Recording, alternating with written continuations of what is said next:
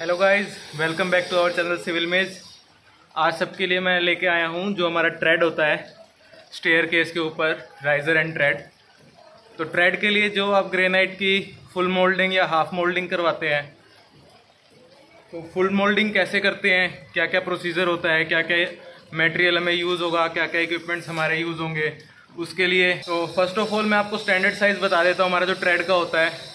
Trade का जो हमारा स्टैंडर्ड साइज़ रहेगा, वो टेन टू ट्वेल्व इंचज़ रहता है। और जो हमारा राइज़र होता है, उसकी जो हाइट होती है, वो सिक्स टू नाइन इंचज़ हम रख सकते हैं। जब हमारा ट्रेड लग जाएगा तो उसके ऊपर अगर हमें फुल मोल्डिंग करानी है तो हमारे ट्रेड के नीचे डेढ़ इंची की हम पट्टी लगा देते हैं। और डेढ़ इंची हमारा स्टैंडर्ड साइज़ है कि डेढ़ इंची तो होनी होनी चाहिए। उससे एक्स्ट्रा भी आप वो पट्टी लगा सकते हैं, क्योंकि डेढ़ इंची अगर पट्टी है तो इन फ्यूचर वो पट्टी निकलेगी नहीं, हटेगी नहीं। अब उस पट्टी को चिपकाने के लिए हमें इक्विपमेंट्स की ज़रूरत होती है। जो मटेरियल की हमें नीड होती है, वो होता है इपोक्सी हार्डनर एंड दूसरा होता है हमारा मटेरियल इपोक्सी रीज़न तो जो हार्डनर होता है, वो स्टिक करने के लिए काम आता है। इपोक्सी रीज़न होगा, वो एज ए सोलवेंट काम करेगा। जो सोलवेंट होता है गाइज़ हमारा वो एक सोलवेंट की प्रॉपर्टी होती है कि मिक्सचर को डिज़ोल्व करने में काम करता है। तो जो इपोक्सी रीजन होगा वो सोलवेंट का काम करेगा और जो इपोक्सी हार्डनर होगा वो हमारा चिपकाने के लिए जो स्टिफ करने के लिए काम करेगा। एंड इन दोनों को मिलाने के बाद एपोक्सी हार्डनर और एपोक्सी रीजन को हम दोनों को मिक्स कर देंगे। और मिक्स करने के बाद हमें चाहिएगी फेविक्विक। पेड लाइट की एक फ्लैक्स क्विक आती है गाइज़ पेडलाइट कंपनी की फिक्स आती है। अभी मैं आपको सारा कुछ दिखा दूँगा। सो so, उसके लिए हमें पहले हमें वो फेविक्विक हमारी ट्रेड पे लगानी है जहाँ पे हमारी पट्टी लगेगी आ, हमारे नीचे वाले सरफेस पे एंड उसके बाद जो हमने मिक्स बनाया है एपोक्सी हार्डनर और एपोक्सी रीजन को मिक्स करके वो उसके ऊपर अप्लाई करके हम वो डेढ़ इंची की पट्टी रख देंगे। तो फ्रेंड्स ये होता है हमारा epoxy hardener and this one is our epoxy resin जैसा कि मैंने आपको बताया था हार्डनर इसका नाम है तो ये स्टिफनेस देने के लिए काम दे, आता है। और ये रीज़न इसका नाम है तो ये एज ए सोलवेंट काम करता है। ये हमारा एरल डाइट कंपनी का है।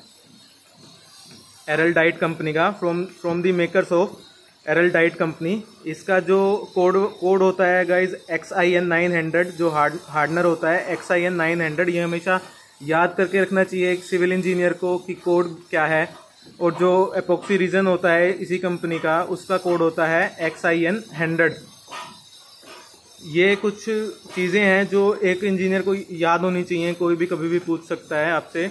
और पिडलिया लाइट की हमने फ्लैक्स क्विन यूज़ की है, और भी कंपनी की आती है। हमने इस कंपनी की यूज़ की है इंस्टेंट एडेसिव इंस्टेंट पकड़ बनाने के लिए ये से जो हम घर में फेविक्विक यूज़ करते हैं, वही है, बस ये थोड़ा क्वांटिटी ज़्यादा है। Flex bonding specially made for flex bonding also bond plastic metal रबड़ wood leather and ceramic and जो हमारा एपोक्सी होता है, वो किस किस के लिए काम आता है गाइज़ हम स्टैचू मेकिंग के लिए यूज़ कर सकते हैं उसको।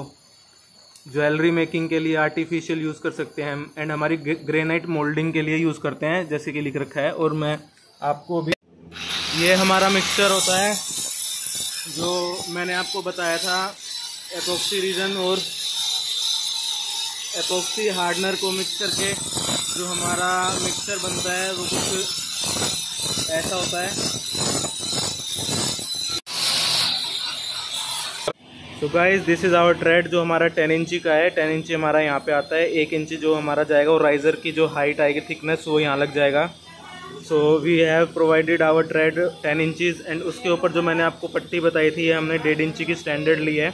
इससे ज़्यादा कम आप कर सकते हैं। जैसे हमारे पास ये इसकी लेंथ थोड़ी कम थी तो हमने यहाँ पे अटैच कर दिया है, पर डेढ़ इंची हमारे पास होना चाहिए।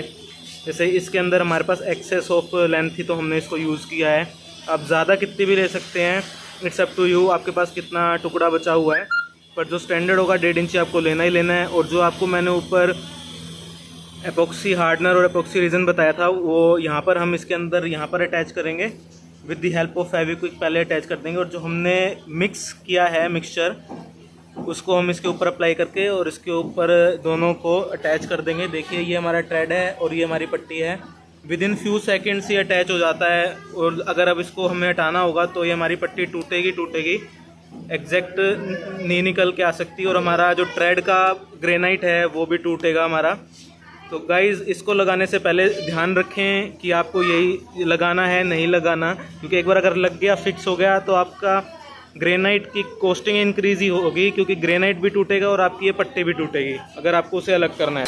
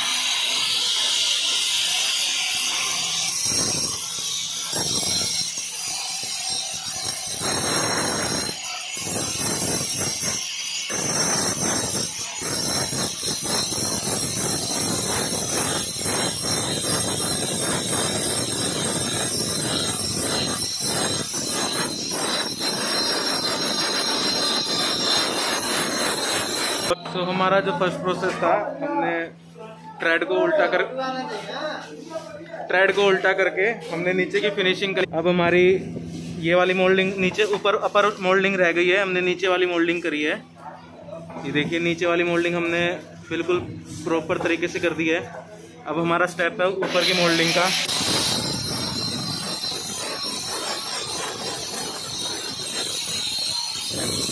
जब हमें अलाइनमेंट चेक करनी होगी, तब हमने with the help of our eyes हम यहाँ से देखेंगे। जैसे मैं कैमरे से आपको दिखाता हूँ।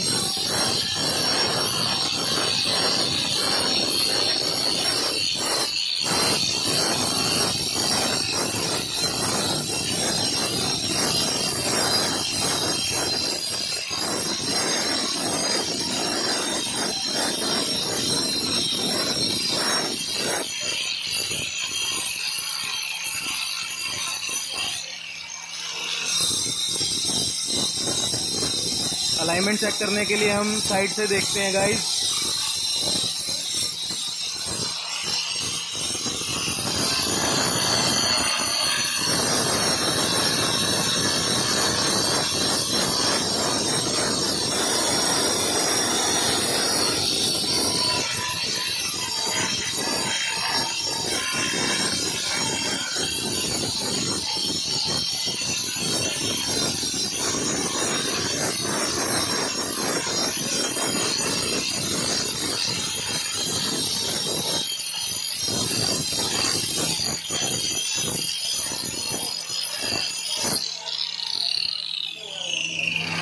alignment check alignment check करने के लिए हम यहाँ से देखेंगे, हमारा स्ट्रेट जा रहा है, नहीं जा रहा।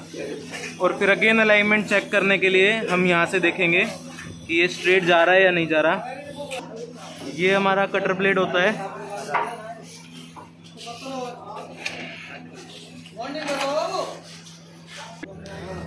फ्रेंड्स हमारे पास एक ये ग्राइंडर है, जिसके अंदर हमने ब्लेड लगाया है। इसके अंदर हमने जो ब्लेड लगाया है, उसकी थिकनेस है हमारी 105 सौ mm ये हमारा पैक है। 105 सौ mm का हमने इसके अंदर ब्लेड लगाया, ग्राइंडर ब्लेड, जिसे हम डिस्क कहते हैं। फ्लैट व्हील आएगा। किसी को भी मार्केट में जाके कह देना 105 सौ mm का डिस्क दे दो, फ्लैट व्हील दे दो हमें। एंड जो सेफ्टी प्रिकॉशंस होते हैं, इसको ग्राइंडिंग करने से पहले हमें मास्क लगाना चाहिए। आई कवर होनी चाहिए हमारी ईयर कवर होने चाहिए और हमारे पास सेफ्टी ग्लव ज़रूर होने चाहिए। ये सेफ्टी प्रिकॉशंस हमें रखने चाहिए। When we are using grinder for our moulding purpose second हमारे प्लस ये ब्लेड है ग्राइंडर के अंदर। जो ब्लेड है वो दोनों सेम है। पर्पस भी दोनों का सेम है, पर जो फ़र्स्ट ब्लेड था हमारा, वो उसकी क्वालिटी बेटर है। इस, इसकी क्वालिटी के अंदर डिफरेंस यही है, जब ये ब्लेड चलता है तो हमारा ग्राइंडर जल्दी ख़राब होने के चांसेस होते हैं। और हमारा ग्राइंडर भी with respect to that blade जल्दी गर्म हो जाता है इस ब्लेड के साथ। सो ऑलवेज यूज़ जो मैंने आपको फ़र्स्ट ब्लेड दिखाया था 105 सौ mm का, वो करें। ये भी हमारा 105 सौ mm का है प्लस इसका जो ब्लेड का शेप एंड शेप में डिफरेंस है, उसकी वजह से हमारे को जो डिफरेंस है क्वालिटी में, वो डिफरेंस आता है। Both of the Araldite solution Araldite epoxy hardener and epoxy resin we will fill our gaps जो हमारे गैप्स रह गए हैं मोल्डिंग के बाद। उसको हमने फ़िल किया है, दोबारा अगेन हमें फ़िल करना पड़ेगा। ये जैसे यहाँ पे हमारे इसमें पूरा गैप रह गया था तो हमने फ़िल किया है। यहाँ पे हमारे पास कोई गैप नहीं है तो हमें फ़िल करने की नीड नहीं है आफ्टर मोल्डिंग इसको हमने फ़िल किया है, यहाँ पे फ़िल किया है, यहाँ नहीं किया है। तो ये हमारा लास्ट प्रोसीजर है। अब इसको होने के बाद हम इसके ऊपर पॉलिश करेंगे after fixing of granite to the trade granite moulding के बारे में ही बता रहा था। कि ग्रेनाइट की मोल्डिंग कैसे होती है? एंड गाइस आज का मौसम कुछ ऐसा है कि सुबह से बारिश हो रही है तो हमारा आउटर जो साइट वर्क है वो नहीं हो सकता। हमें इनर साइट वर्क ही करना पड़ रहा है। एंड हमारे पास यहाँ पे कोटा पत्थर भी है। हम छत पे कोटा पत्थर लगाएँगे। एंड कोटा पत्थर कैसा लगता है, वो भी मैं आपको वीडियो में बताऊँगा। क्या क्या स्टैंडर्ड्स होते हैं कैसे कैसे कटिंग होगी, और कैसे